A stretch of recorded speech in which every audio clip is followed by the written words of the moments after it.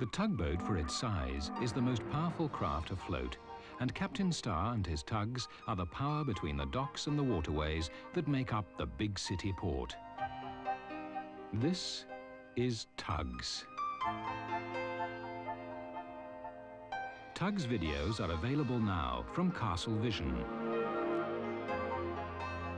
Also on the Castle Vision label, the Raggy Dolls.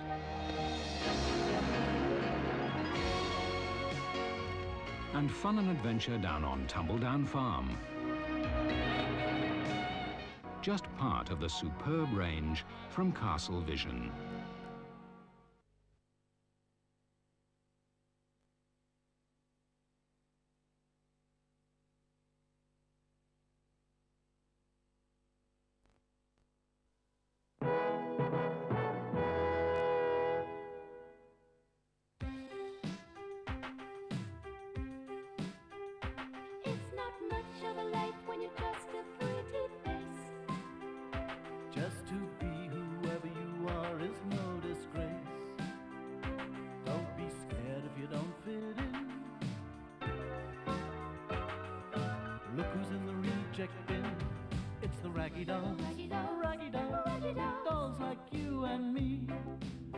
Raggy dolls. Raggy dolls. Raggy dolls. Raggy dolls. Made him perfectly. So if you got a bump on your nose or lumps on your toes, do not despair. Be like the raggy doll and say I just don't care.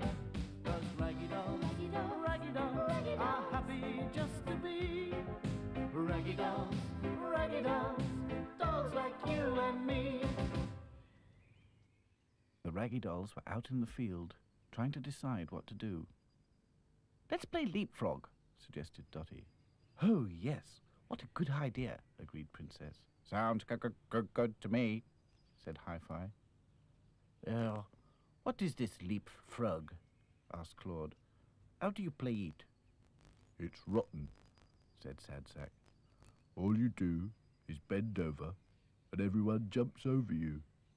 Then you have to jump over everyone else. Well, what is wrong with that? demanded Claude.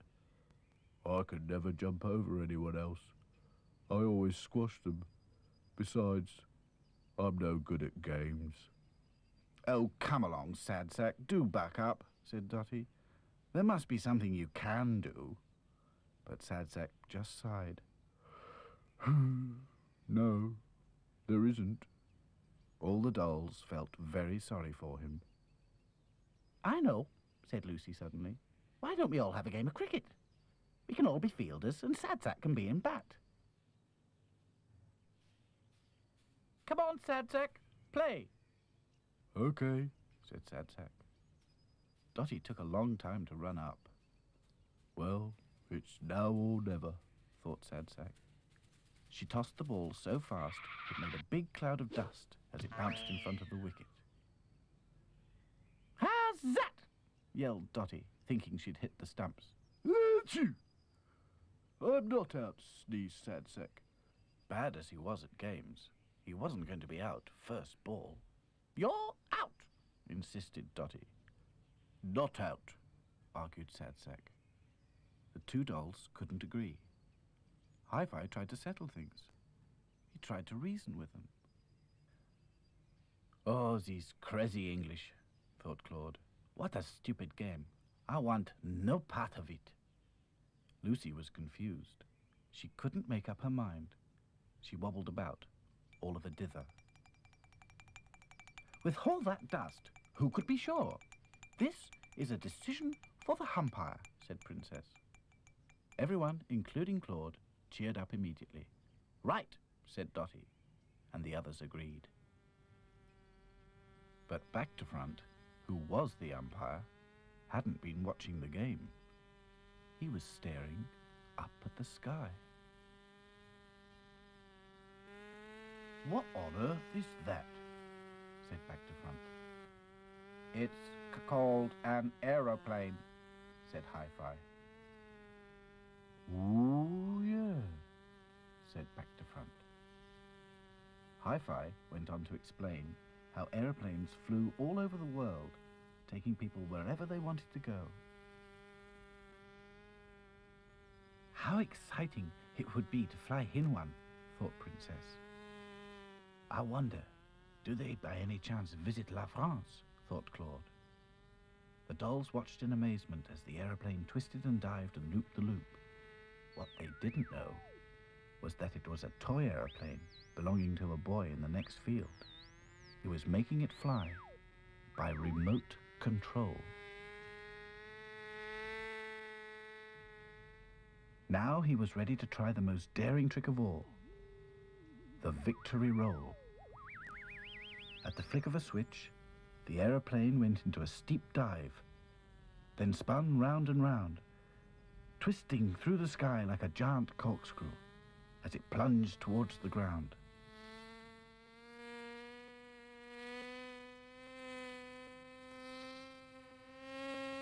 Mayday! Help! Emergency! It's going to crash. Oh!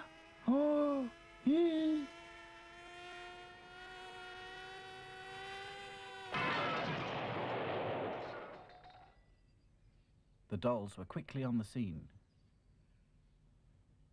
Thank goodness no one's hurt, smiled Princess. They all studied the wreckage. Hi-Fi suggested that they could mend it and fly it themselves. What a good idea, they all agreed. Even Sad Sack.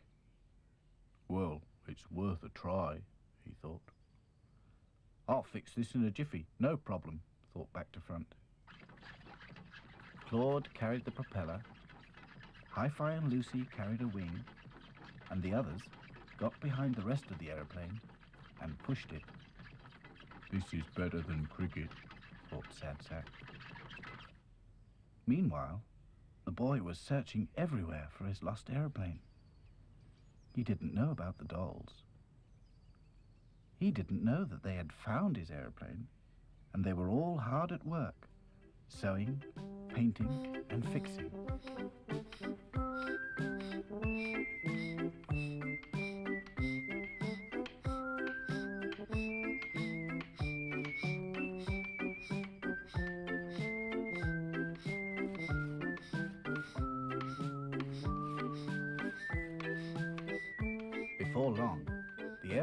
Was looking as good as new.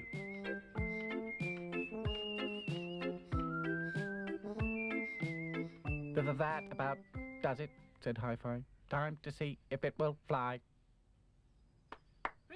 It was a moment of great excitement. Hi-Fi climbed into the pilot's seat. Back to front sat in the observer's seat, while the others found themselves a safe place on the wings. Everybody hold tight. called Sad Sack. And on a signal from Hi-Fi, he whirled the propeller.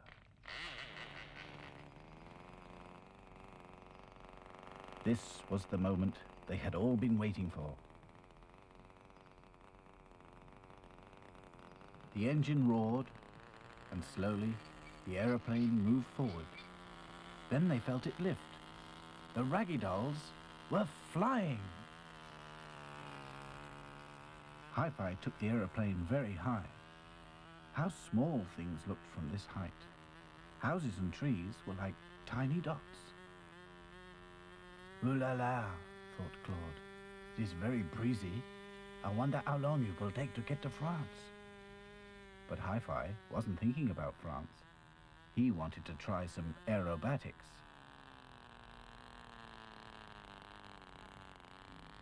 The dolls felt their tummies turn over as the aeroplane looped the loop. Soon, they were whizzing over the treetops. I suppose this is fun, thought Sad Sack. I think it could be cheering me up. Hi-Fi was thinking it was time to stop. They were running out of fuel. So, with a hop and a bump, the aeroplane landed safely on the field. Hi-Fi looked pleased with himself. Well, oh, Hi-Fi, said Princess. You have given us a flight we shall remember forever. Even Sad Sack agreed. All this time, the boy had been searching for his aeroplane. Where could it be? Suddenly, there it was, right in front of him. He was delighted. He could hardly believe his eyes. It was looking as good as new. That was great fun, said Lucy. Oh, yes, said Sad Sack.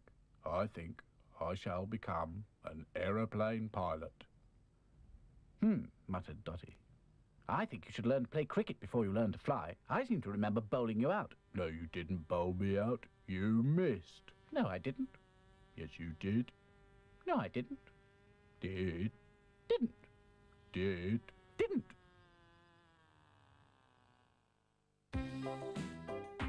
It's not much of a life when you're just a pretty face. Just to be whoever you are is Look around and you will find people of every kind, like the raggy dolls, Raggy dolls, raggy dolls, raggy dolls. dolls like you and me. Raggy dolls, Raggy dolls, raggy dolls, raggy dolls. made him perfectly. So if you're not at ease with your knobbly knees and your fingers are all fuzz, stand on your two left feet and join our raggy doll chums. Cause raggy dolls, Raggy dolls, raggy dolls raggy dolls. happy just to be raggy dolls, raggy dolls, dolls like you and me.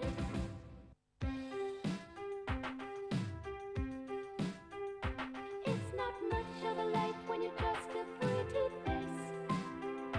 Just to be whoever you are is no disgrace. Don't be scared if you don't fit in. Look who's in the reject bin. The raggy dolls. Raggy dolls, Raggy dolls. raggy dolls. Dolls like you and me. Raggy dolls. Raggy dolls, Raggy dolls. Made him perfectly. So if you got a bump on your nose or lumps on your toes, do not despair. Be like the raggy dolls and say I just don't care. Cause raggy dolls, Raggy dolls, raggy dolls raggy are happy just to be raggy dolls, raggy dolls, dolls like you and me. One morning, when the raggy dolls were getting up, Hi-Fi and Back to Front noticed Sad Sack had a very long face. What's wrong? asked Hi-Fi. Sad Sack was close to tears. I'm too fat. He blurted. My stomach. It's too big and too soft. Then you should come walking with us, said Back to Front. The exercise will do your power a good, Hmm. Exercise. thought Sad Sack. That's all very well for some, but they don't have all this weight to carry. He looked down at his big soft stomach. The last thing I want is exercise. So Hi-Fi and Back to Front set off on their early morning walk without him. They were making their way towards the big field when they noticed a group of men carrying a large straw basket. The dolls ducked out of sight and watched as the men put the basket down. I wonder what they're going to do, asked Back to Front. They're probably having a picnic, crackled Hi-Fi. The men seemed to be excited about something. One of them took out a stopwatch. On your marks, get set, go! To the doll's great surprise, a flock of pigeons flew up out of the basket. Wow, wow, wow, it's a pigeon race. The pigeons flew off at great speed. One pigeon was already way out in front of the others, but curious to see how far in front he was, the pigeon turned his head. La la look! exclaimed Hi-Fi. He's tra- traveling in one direction and looking in the other. There's nothing clever in that. In case you hadn't noticed, I do it all day long. The pigeons slowly disappeared over the horizon. The men carried the empty basket back across the field. Hi-Fi and Back to Front continued their walk. They set off out into the countryside, enjoying the fresh morning air. Soon they came to Pumpernickel's field. Pumpernickel the Scarecrow was always on duty guarding his patch of corn, but it was a lonely old job, and he was always pleased when any of the Raggy Dolls came by. Good morning, dolls. M-m-morning. Good morning, Pumpernickel. Hi-Fi and Back to Front marched on, but by now they were feeling the strain of all their walking. I do feel tired. Mamma me t t too. So they sat down for a rest. But they'd hardly relaxed for a second when they heard a faint cry. Oh, help! They looked around, but there was no one in sight. Oh, help! This time they looked up, and there above them, entangled in the wires, was the pigeon that had been leading the race. Hi-Fi and Back to Front clambered up the telegraph pole and quickly reached the pigeon. Don't you worry, boy. No problem. We'll soon have you free.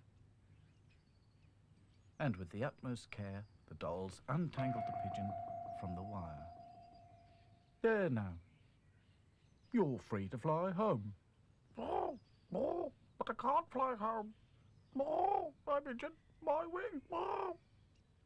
The poor pigeon was stuck. He couldn't fly off, and he couldn't get down. This is an em- em- emergency. There's only one one thing to do. He quickly took off his headphones and yelled into the earpiece. Raggy Dolls to the rescue! It was the Raggy Dolls' own secret call sign. As if by magic, the Raggy Dolls appeared from every direction. What's the emergency? How can we help? It's the p- p- pigeon. He's hurt his wing and can't f- fly. I can give him some first aid, said Lucy. Good. But first, we must find a way to get him down. Just then, Sad Sack came running along. Sorry I'm late, I'm just too fat to cope with these emergencies. That's all right, no problem. In fact, being fat makes you the only doll that can help. Sad Sack could hardly believe his ears.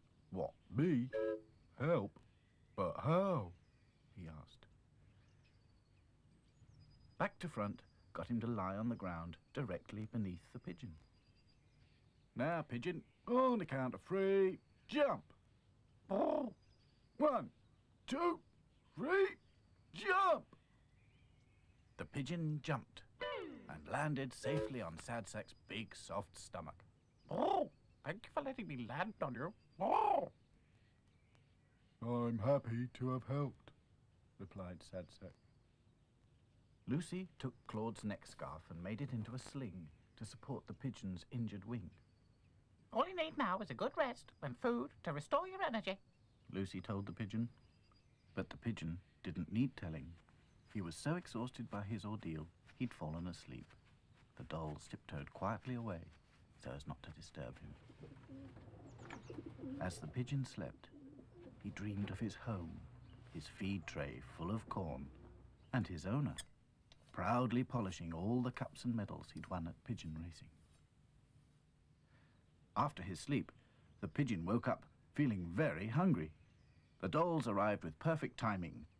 I've brought you some beef burgers, said Hi-Fi. Oh, thank you, said the pigeon. He looked at the dolls. They were all carrying food they'd brought especially for him. Princess had a portion of strawberry ice cream, back to front, some banana-flavored milkshake, and Dotty some chocolate mousse, and Claude had cooked a special recipe, a bowl of French onion soup. The pigeon was very embarrassed. Oh, I don't know how to tell you this. Oh, but I'm afraid we pigeons don't eat beef burgers, nor ice cream, nor chocolate mousse, nor milkshake, and certainly not French onion soup. Claude was livid. Then I will eat the soup myself.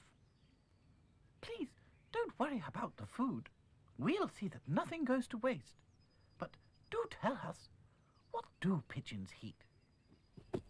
Just then, along came Sad Sack. He was carrying some corn. The pigeon's eyes lit up. Oh, oh, that's what pigeons eat. I told Pumpernickel all about our racing pigeon rescue. And Pumpernickel said, Although scarecrows don't usually give pigeons corn, this is a very special case. So he sent you this corn with his best wishes. Oh, oh, that was kind. said the pigeon, and tucked into the corn.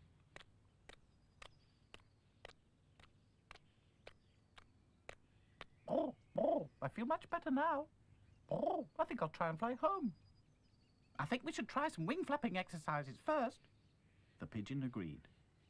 Lucy removed the sling from the pigeon's wing, Good. Follow me. and she flapped her arms up and down, up and down. The pigeon did exactly the same, flapping his wings. Lucy flapped harder and harder, and so did the pigeon, who suddenly took off. The pigeon soared high in the sky, and tipping his wings in a goodbye wave, he flew off towards home. The raggy dolls waved back, but Claude was still hungry. Well, surely it must be time to eat. The dolls agreed.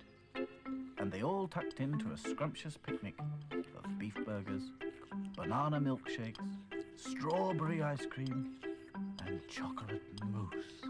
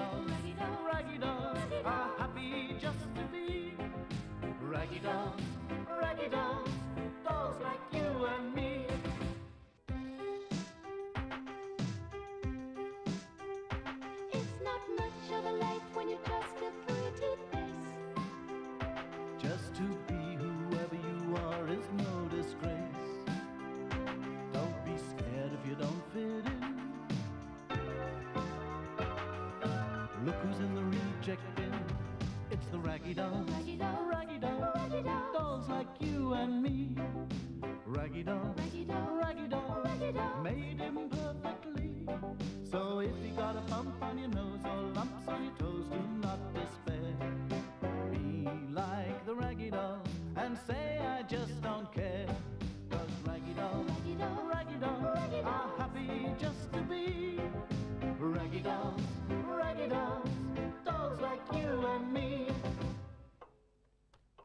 mornings were always a busy time for Mr. Grimes. He'd already unlocked the doors, turned off the burglar alarm, switched on the machinery, checked the boiler, inspected the stores, and now he was opening the post. Bills, bills, bills, he grumbled. And more bills. Just then, there was a loud knock, and a head popped round the door. What can I do for you? Snapped Mr. Grimes. The stranger reached in his pocket and pulled out a card.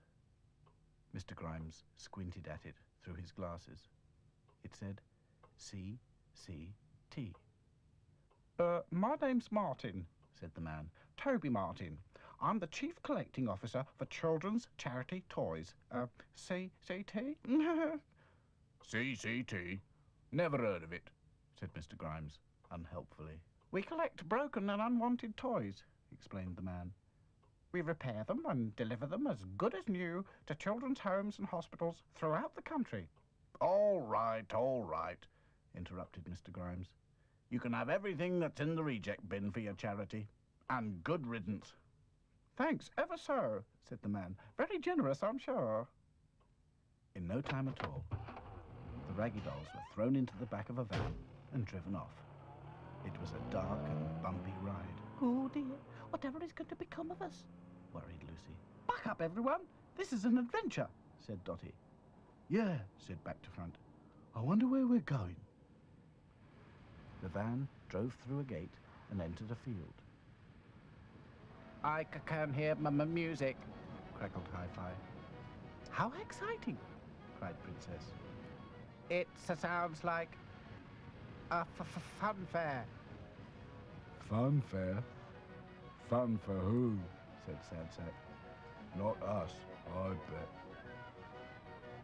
Toby Martin parked his van outside a large square tent and went inside. The Raggy Dolls could hear the sound of hammering. Then it stopped. Watch out, he's coming back, warned Back to Front. Toby Martin gathered up all the dolls as if they were dirty washing. He was so rough, Lucy got all tangled up. She began to tremble. Don't worry, whispered Back to Front. We'll soon straighten you out, no problem. Inside the tent, there was a coconut shy, and above it, a rope with hooks dangling down, one hook above each coconut. Toby Martin attached the dolls by their clothes to each hook. Then he went outside and shouted. Roll up, roll up, win a prize doll. I've got a lovely bunch of coconuts, ten pence a throw. A crowd soon gathered. Hmm, some charity. sniffed Dotty. All morning, people paid to have a throw at the coconuts, and soon Toby Martin had collected a pile of money.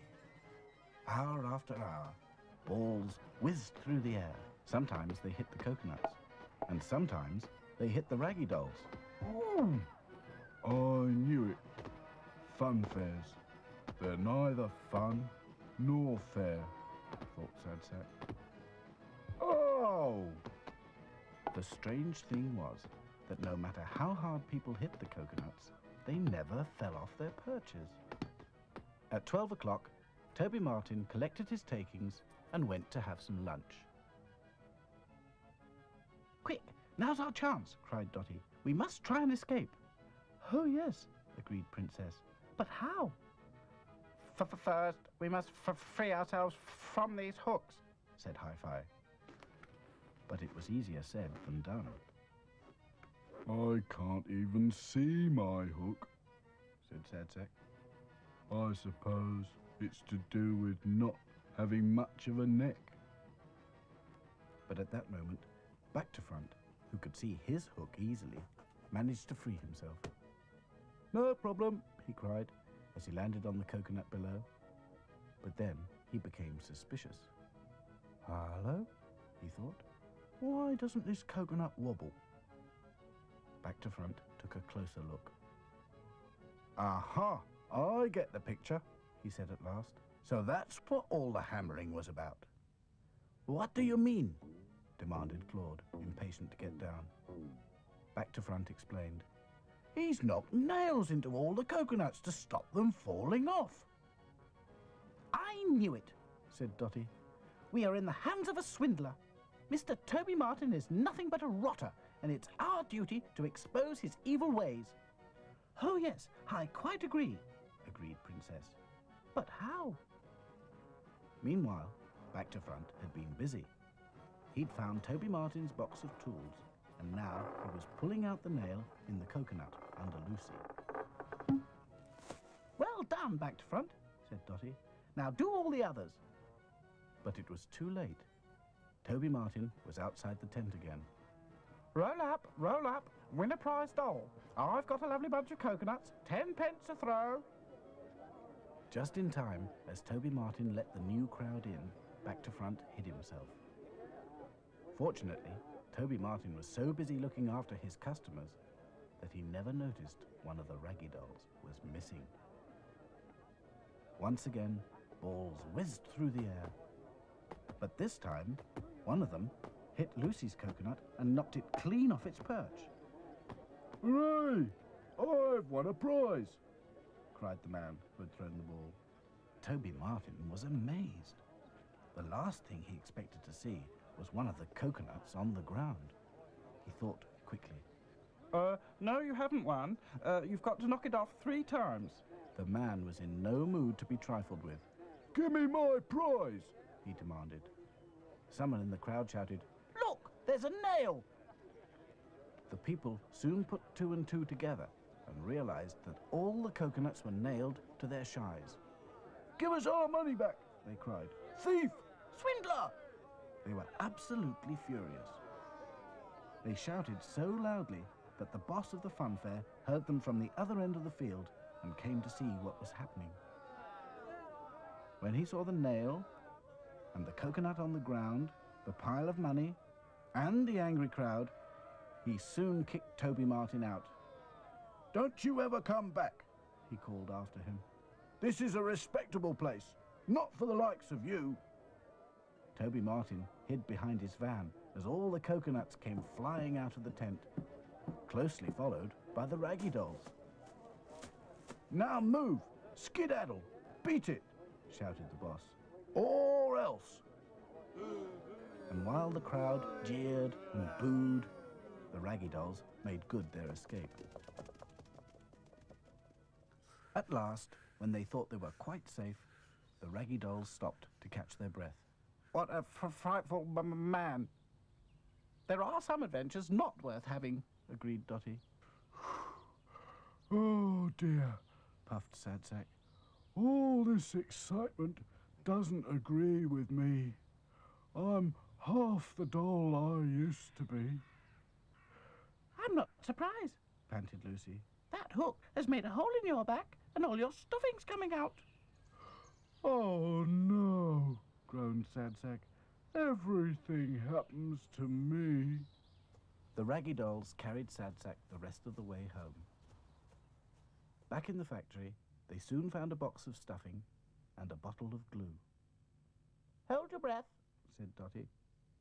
Sad Sack held his breath as Hi-Fi poked stuffing back into the hole. When it was full again, Lucy dabbed on some glue. Sad Sack looked his old self again. Well, almost. Uh, he is looking a little lumpy, n'est-ce pas? said Claude. No problem, replied Back to Front. Dotty will soon knock him back into shape. Thump him, Dotty! Righto, said Dotty. Um, uh, thanks, Dotty, said Sad Sack. but uh, that's enough for now. If you don't mind, I think I'll have a lie down. It's been one of those days. It's not much of a life when you're just a pretty face. Just to be whoever you are is no disgrace. Look around and you will find people of every kind, like the raggy dolls, Raggy doll, raggy dolls, Raggy dolls. Dolls like you and me. Raggy dolls, Raggy doll, raggy dolls, Raggy dolls. made him perfectly. So if you're not at ease with your knobbly knees and your fingers are all fuzz,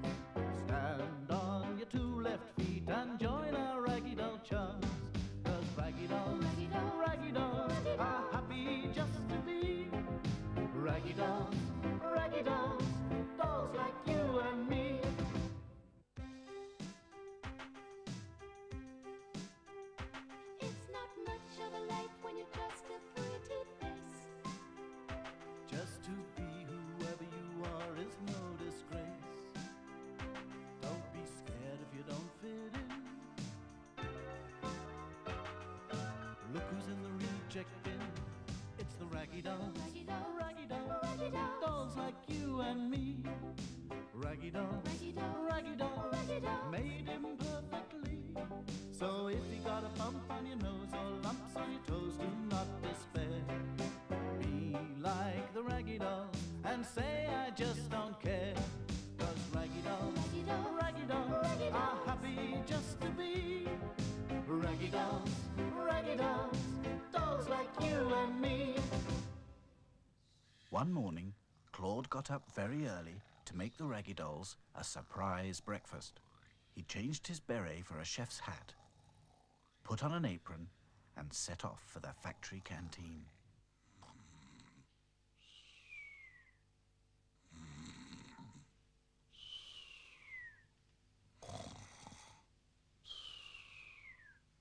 He was going to make a continental breakfast. Croissants and coffee, as we have it in France, he thought. He mixed the pastry and rolled and rolled and rolled it into a long strip. It was a complicated recipe. But at last, the croissants were safely in the oven. Then Claude poured some coffee beans into the grinder. Soon the works canteen was filled with a delicious smell of baking and freshly ground coffee. Wake up! Wake up! shouted Claude. He banged a frying pan with a spoon to make it sound like a gong. Oh, whatever's that? The factory's on f- f- fire. Keep calm, everybody! Oh dear, I'm all of a tremble. Dotty was the first to peer over the top of the reject bin. It's only Claude, she said crossly. Really, Claude, you might have more consideration. Can I smell baking? sniffed Sad Sack. You most certainly can, said Claude. And can I smell coffee? But of course you can, said Claude again. Mesdames, messieurs, breakfast is served. The Raggy Dolls made their way into the canteen. Claude had laid the table in the French way. There was a dish of butterballs and a bowl of black cherry jam and napkins. There was even a red checked tablecloth. Voila, exactement as we have it in France, he explained. I have made a continental breakfast. Bon appetit. That means eat up, said Dotty. What a super surprise, Claude. Pity it isn't bacon and eggs and fried bread, thought Sad Sack. That's what I call breakfast. But by the time he'd eaten his sixth croissant and washed it down with a seventh cup of coffee, he decided French breakfasts were just as good as English ones. But he had to leave a pile of croissants for later because he was full to bursting. Just then, the factory hooter started up. People would be arriving for work any minute. Luckily, there wasn't much to clear away. But before they could leave the canteen, the Raggy Dolls heard voices. There was just time to hide before Mr. Grimes came in with Florrie Fosdyke, the canteen lady. Florrie was kind, but very forgetful. One morning, she buttered the teapot and poured milk on the toast. You must keep your wits about you today, Flo, said Mr. Grimes. There's a competition for all the factories on the trading estate. Each canteen has to make a cake, and the best cake wins a prize. And I want Grimes's Toy Factory to win that first prize tomorrow, Flo. You won't be disappointed, sir, said Florrie Fosdyke. She flicked through the pages of her recipe book. There was a large picture of a sponge cake with layers of raspberry jam filling topped with marshmallow and chocolate sauce. Mr. Grimes agreed that that was the kind of cake most likely to win. The Raggy Dolls watched as Florrie set out everything she needed on the table a mixing bowl, scales to weigh things, and a spoon for stirring. The sponge cake recipe said one cup of flour, three quarters of a cup of sugar, half a packet of margarine, two large eggs, and a little water. For the filling and topping, it said half a jar of raspberry jam, one bag of mixed marshmallows, pink and white, and a slab of melted cooking chocolate.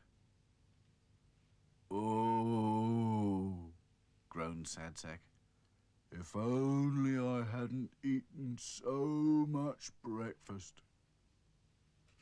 Claude looked on with interest as Florrie set to work. Butter cake, butter cake, baker's man. Bake me a cake as fast as you can. Break it and nick it and mark it with G. and there will be plenty for Grimesy and me. Florrie sang as she worked and forgot to look at the recipe book. She's p- p- putting the sh- shells in with the eggs, crackled Hi-Fi, That's never one cup of flour. whispered Lucy. More like a bucketful, agreed back to front. Now she's adding salt instead of sugar, Princess gasped. Sacre bleu! This is an outrage! spluttered Claude. Florrie poured the awful mixture into two sandwich tins and put them in the oven, which she turned up much too high. Then she set off with her trolley to see if anyone in the factory wanted a quick cup of tea. By the time she came back, the cake was beginning to burn, Funny? What's that smell? thought Florrie Fosdyke. She'd forgotten all about baking a cake for the factory competition. She looked at the oven. Smoke was curling out. Then she remembered. Oh, heck! Yes, well, uh, oh, never mind. I'll tell Mr. Grimes it's a chocolate cake. He'll never know the difference. When the cake was cool, Florrie dolloped the raspberry jam between the layers and covered the top with melted chocolate and marshmallows. It didn't look anything like the picture in the recipe book. Hmm, not bad. It's quite eye-catching. she thought. When Florrie had gone home, the Raggy Dolls went to see what the cake looked like.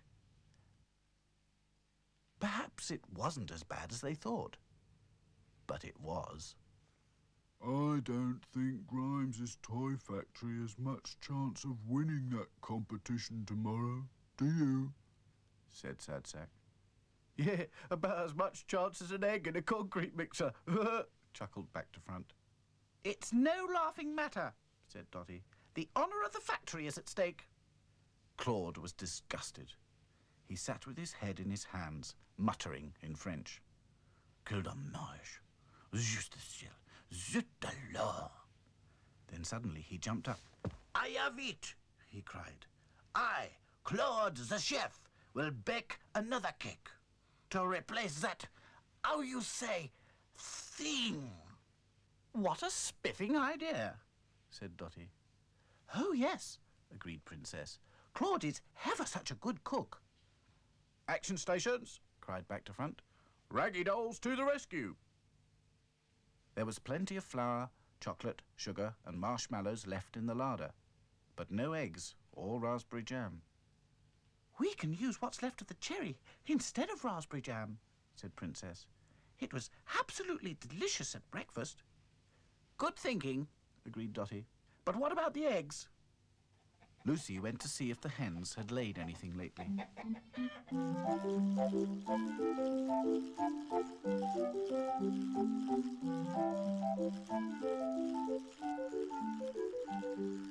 This time, everything worked.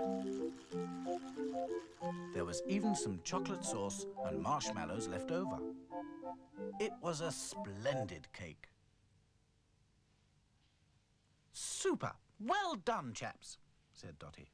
Mr. Grimes should be ever so pleased, said Lucy. And he certainly was, because next day, Claude's cake won first prize. Florrie Fosdyke didn't know how it came to have black cherry jam in it instead of raspberry jam, but she put it down to forgetfulness. Sad Sack hadn't forgotten the leftovers. Claude lent him his chef's cap and apron, and for breakfast next day, Sad Sack invented a new recipe leftover croissants with leftover marshmallows and chocolate sauce. It's called the Raggy Dolls Special. said Sad Sack, licking the spoon. It's not much of a life when you're just a pretty face. Just to be are is no disgrace.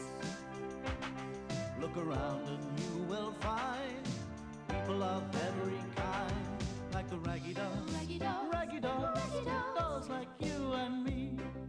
Raggy dolls, Raggy dolls, raggy dolls, raggy dolls. made imperfectly.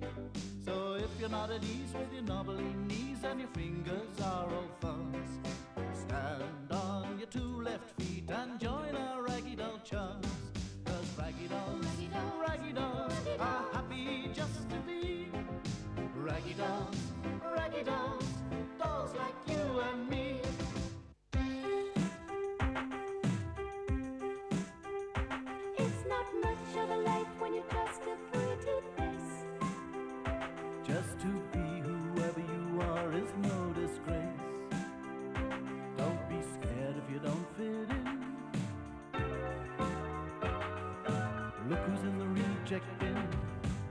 Raggy dolls. Raggy dolls, Raggy dolls. raggy dolls. Dolls like you and me.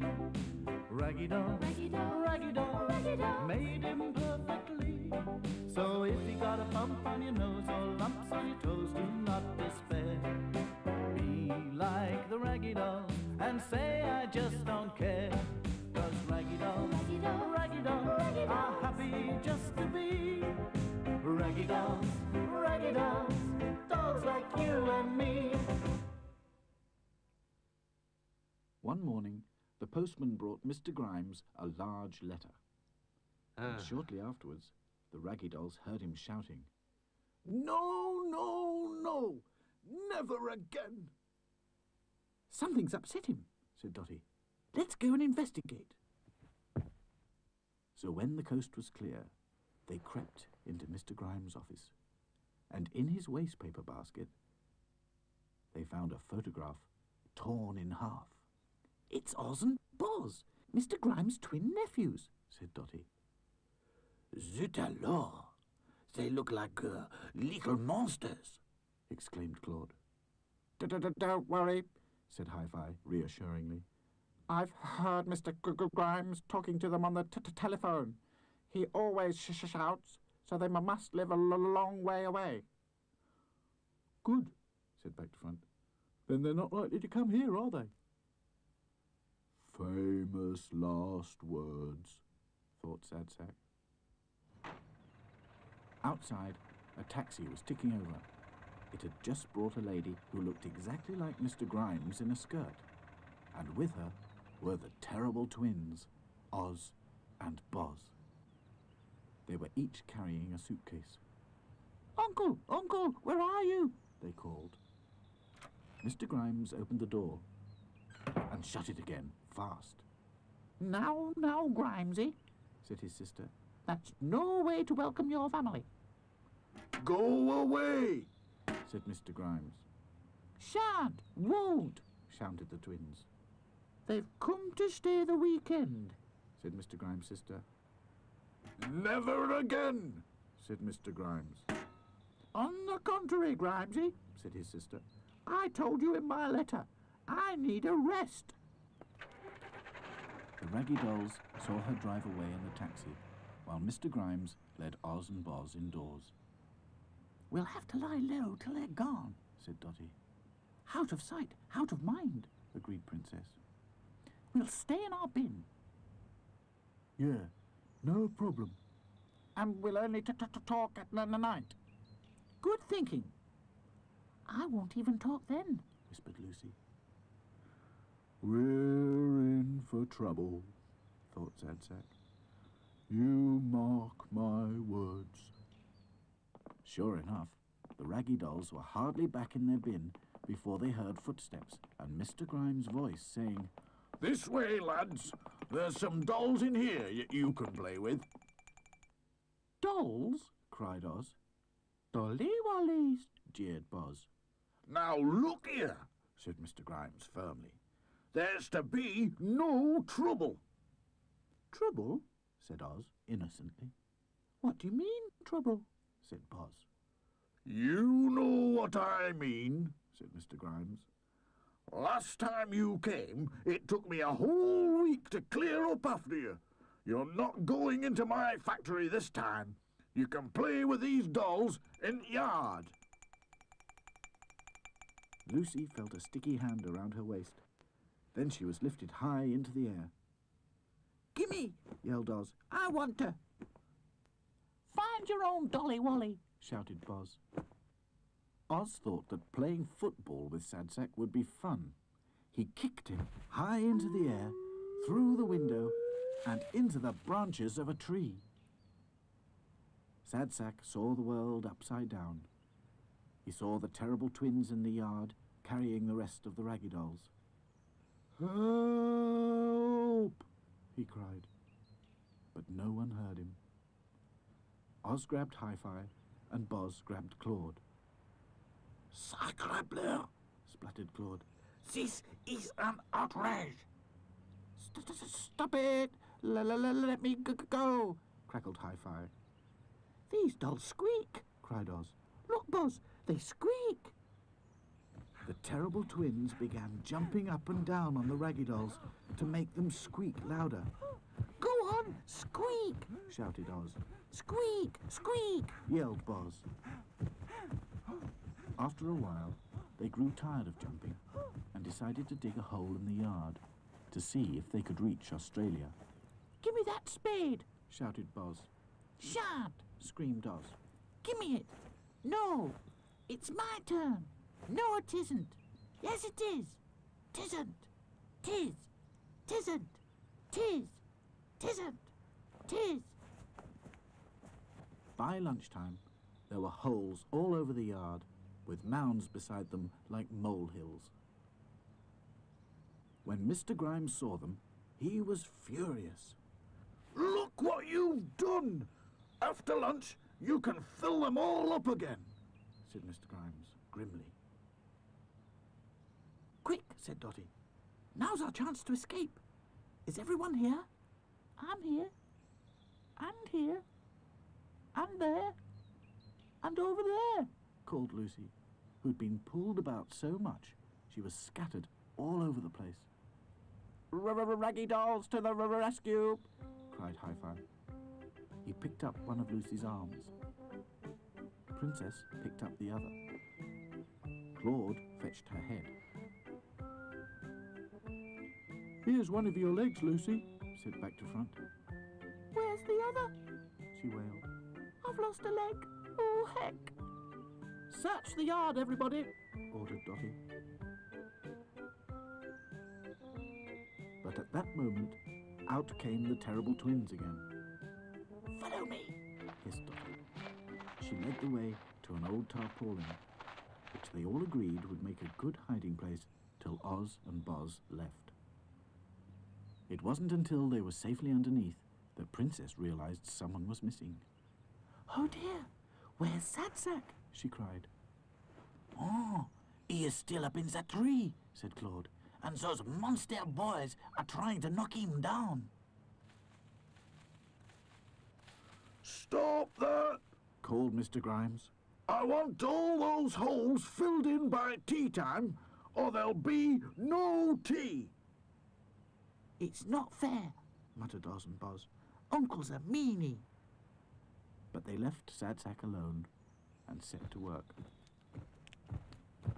At last, all the holes were filled in, and the yard was back to normal. The terrible twins were so tired, they ate their chocolate biscuits quietly and watched television till bedtime, like ordinary children. Outside in the moonlight, the raggy dolls were rescuing Sad Sack, Go on, jump. called Dotty. You can't stay up there forever. All he has to do is close his eyes. said Claude. Yeah, no problem, agreed back to front. One, two, three, jump, called all the raggy dolls together. Help! cried Sad Sack, and he jumped, He's only a bit winded. said mm. Dotty. He'll be all right in a moment. Can we find my other leg now? asked Lucy, anxiously, We can try, said Hi-Fi. but, but, but, but I'm afraid it's got buried in one of those holes, and we c- can't undig them all again. Oh dear, cried Princess. Poor Lucy. She'll have to hop on one leg for the rest of her life. No, she won't. said Sad Sack, sitting up suddenly. Here it is, in one of the holes. And he pulled the missing leg out of the loose earth underneath him. You landed in just the right spot, said Dotty. Well done. Oh, Sad Sack, you are clever. cried Lucy. The raggy dolls went to sleep under the tarpaulin and didn't wake up again till the sun was high in the sky and the terrible twins had gone home with their mother. They can't come visiting ever again, said Mr. Grimes. No, no, no. And this time, I really mean it. Never. It's not much of a life when you're just a pretty face. Just to be whoever you are is no disgrace. Look around and you will find people of every kind, like the raggy doll, Raggy doll, raggy doll, Raggy doll. dolls like you and me. Raggy doll, Raggy doll, raggy doll, Raggy doll. made him perfectly. So if you're not at ease with your knobbly knees and your fingers are all fuzz, stand on your two left feet and join our chance. Cause raggy dolls, raggy dolls are happy just to be. Raggy dolls, raggy dolls.